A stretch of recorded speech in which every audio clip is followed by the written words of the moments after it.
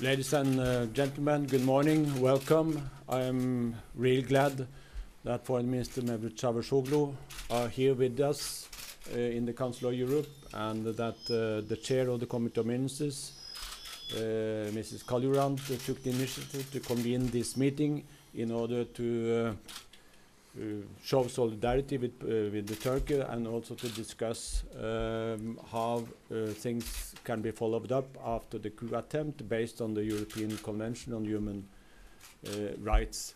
I made I went uh, very soon to Turkey uh, after the military coup attempt to demonstrate the Council of Europe solidarity and to say that uh, political power must come from ballot box, not from guns and tanks. It was absolutely unacceptable what happened, and also to convey to the Turkish authorities that we are here to assist in the following up and to say that the European Convention and the case law of the court is a very good guide when one is um, starting to to take on those who uh, are responsible for this uh, military coup uh, attempt. What is important for us is, of course, that all the judicial safeguards are in place for those who are being accused, and uh, that uh, the principle of the presumption of innocence prevails,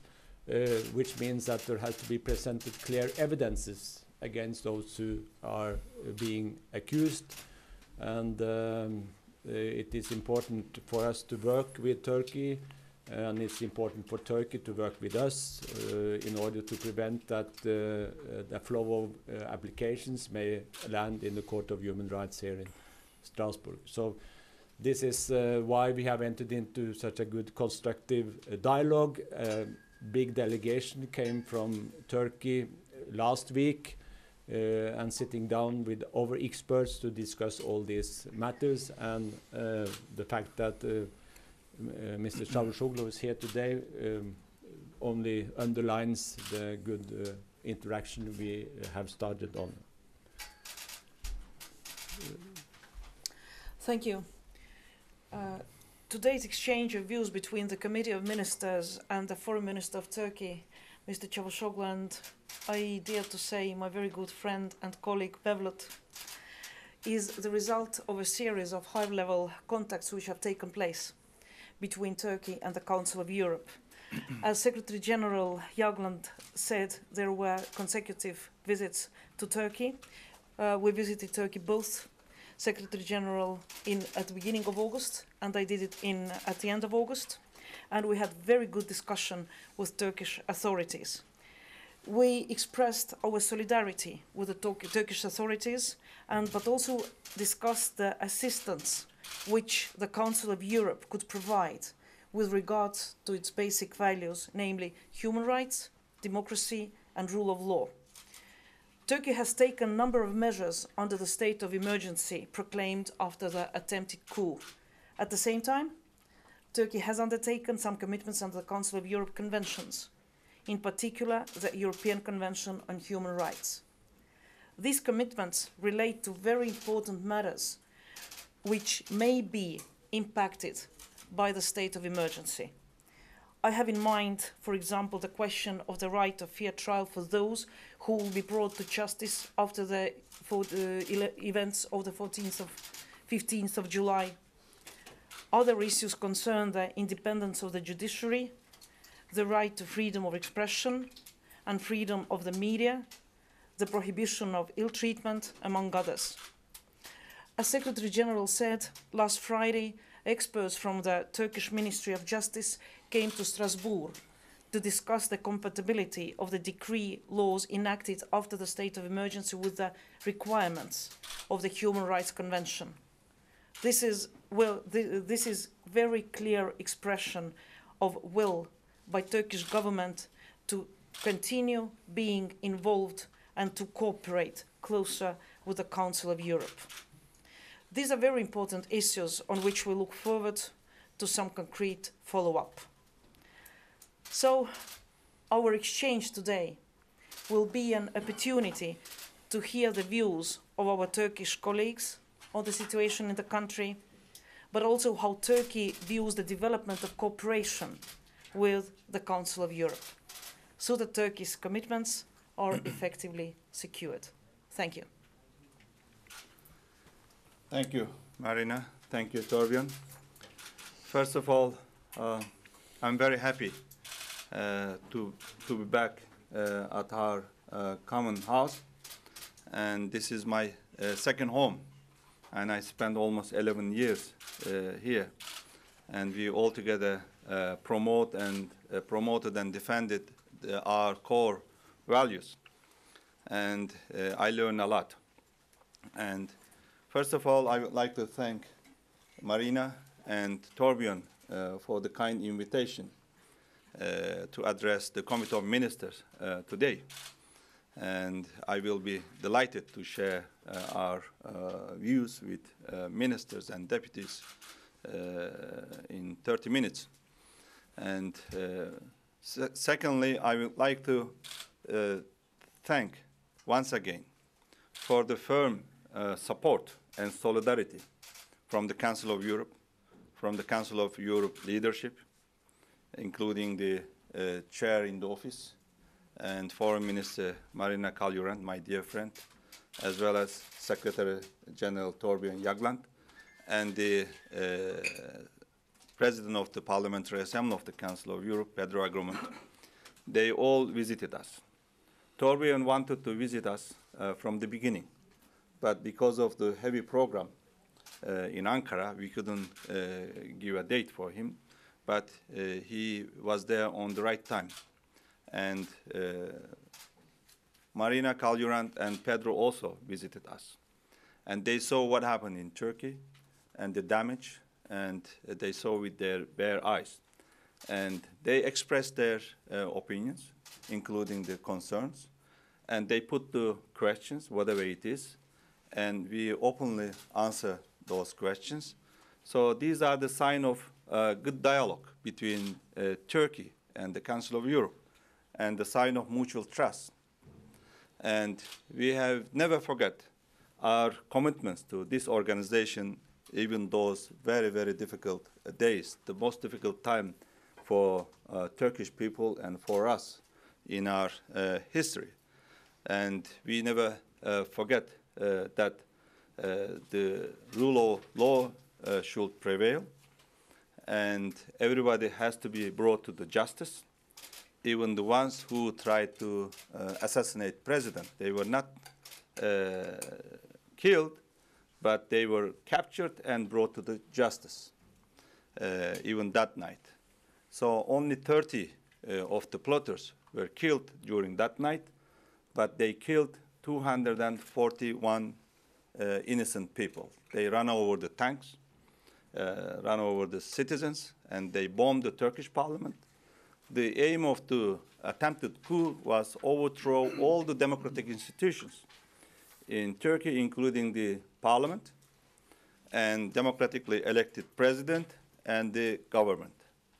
And their aim was to assassinate all of us, including president, prime minister, ministers, myself, but thanks to the brave Turkish uh, nation, uh, we rejected this coup.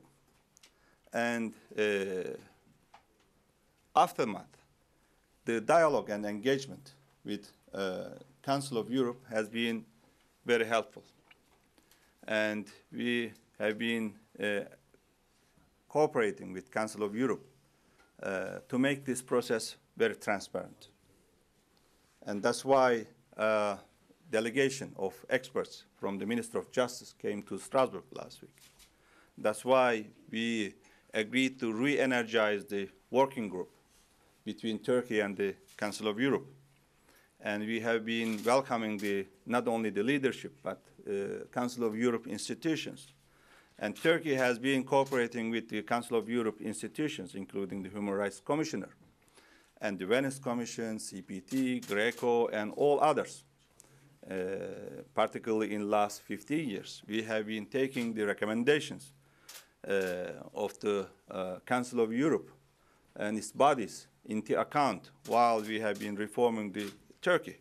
Therefore, uh, be assured that uh, this process will be also very transparent and uh, the supervision of the European Court of Human Rights is still valid. And the Convention on Human Rights also is guideline for uh, Turkey, even uh, during this uh, difficult time. And I will be very happy to share my thoughts and my experience and Turkey's experience uh, in last uh, two months uh, aftermath the, uh, the bloody and deadly uh, coup that we have faced. I have to, at the end, emphasize that we had uh, even worse coup in the past. And, but none of them actually targeted civilians. None of them ran over tanks, uh, over the civilians. And none of them bombed the Turkish parliament. And after those uh, coup, coup attack, in the past, Turkey's membership here was suspended. And thanks to the, uh, again, brave nation and our efforts, this time they failed, and uh, Turkey's uh, membership to Council of Europe is still valid. And I, I really appreciate uh, your support, your commitments, also your engagement. Thank you. Ministers and the Secretary General will take some uh, questions as far as time allows. Perhaps we start with colleagues from ARD Germany. Um, hello, my name is uh, Cecile Fili. I work for ARD Germany. Uh, I will have one, question for you, Mr. Minister, and uh, for you, Secretary General. Uh, first question is, uh, what about the death penalty that was mentioned in Turkey? And President Erdogan mentioned that maybe it will come back if the folk wants it. And for you, Mr. Jagland, this, uh, the, my question will be, what are your concerns uh, about the prosecutions held nowadays in Turkey following the coup, uh, the missed coup? Thank you very much. Well, it was the demand of uh, Turkish people right after the coup attempt, and the emotion was very high, and uh, they uh, couldn't forget what happened that night.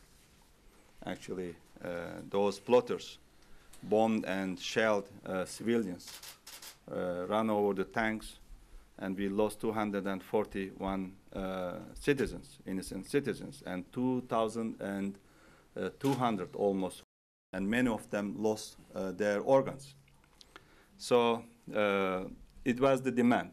What President Erdogan said was uh, actually, if the parliament adopts the death penalty, he will consider. So he left this issue to the parliaments. And there are four political uh, groups in the Turkish parliament. So this issue has never been considered yet. But when you fully ignore what people ask, uh, this is not. This is also against uh, democracy. But it doesn't mean that you should actually consider everything or uh, accept everything or adapt everything.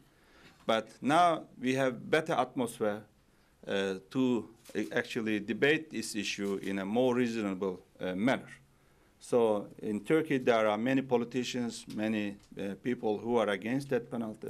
Some of them are still for death penalty instead of uh, trying to understand why people demand threatening Turkey from uh, Brussels and, uh, uh, and uh, extending harsh statements or uh, negative, very negative statements, actually triggered the emotions of pe people in Turkey. But some of our colleagues, including Marina and Thorbjørn and Pedro, they came and they expressed their concerns directly to us instead of making public statements and threatening Turkey from Strasbourg. Thank you. Well, my, my concern is, uh, well, if this had happened in any country in Europe, my concern would uh, have been exactly the same, uh, namely that uh, when emotions are high, one may, of course, not be able uh, to separate between those who really were behind the coup and those who were not, and and the, uh, what's important now is to see to it that all the judicial safeguards are in place and that the presumption of innocence prevails so that evidences counts. Uh, only then we can say that uh, there is has been a judicial process in conformity with the European uh, standards. So that's why I think it's so uh, good to see that Turkish authorities want to discuss all this with us. This has started already. And this would have happened in any other country if such an outrageous coup had taken place. But actually, if you look at what took place, it is unprecedented in European history after the Second World War. That military tanks start to shoot at people in the streets, that the, the state's own airplanes bomb the parliament. And you, you see, this is uh, something uh, which must be understood how outrageous it was and how unacceptable it was that it could happen on the European soil. Colleague from Anadolu. Uh, Turkish News Agency Anadolu, uh, Murat Ünlü.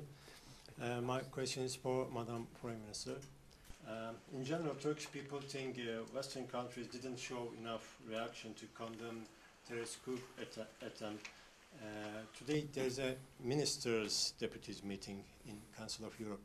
What's your expectations regarding this coup attempt today?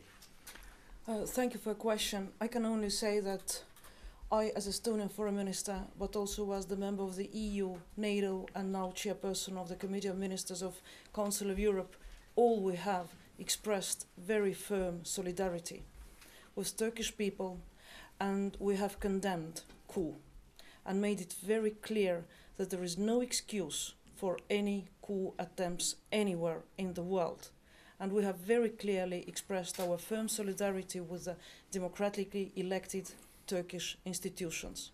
And the Secretary General said, yes, there is no question, those perpetrators, they have to be brought to justice. A couple of days ago, we had a very good discussion with uh, uh, Turkish European Integration Minister in, uh, with foreign ministers uh, of the EU. Today we have exchange of views here. And as I also said, Estonia bilaterally has excellent relations with Turkey. Turkey has always been our close friend, partner, and maybe for those who don't know, Turkey was among the few countries that never recognized Estonia's occupation. So when we restored our diplomatic ties in 91, we referred to the friendship agreement from 1924. So I'm sure that cooperation on all levels will continue, will be closer, and once again, Mevlüt, thank you for uh, receiving the invitation, taking the invitation, and coming to Strasbourg. Yeah, I think we have to close. I'm sorry, um, cameras are invited to take pictures in the, in the, in this meeting.